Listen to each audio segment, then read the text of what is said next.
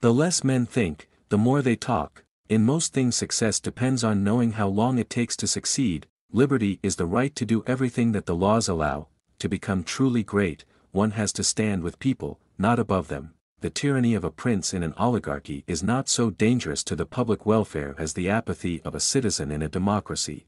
I have always observed that to succeed in the world one should seem a fool, but be wise.